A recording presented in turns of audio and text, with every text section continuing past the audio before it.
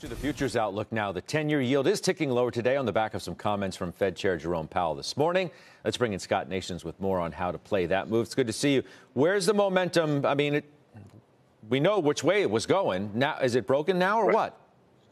Uh, Scott, I actually think that what's going on, part of what's going on is what's going on in Turkey. You know, it's never a good thing when traders have to look at a map to figure out what the news says.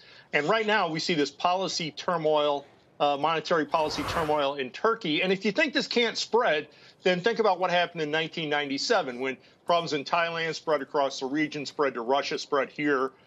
That said, Scott, and you have to watch this. You have to watch for contagion. But given that, the fundamentals are still really bad for bond prices. They are. We have we have strong growth, we have inflation, and this week we're going to have huge supply.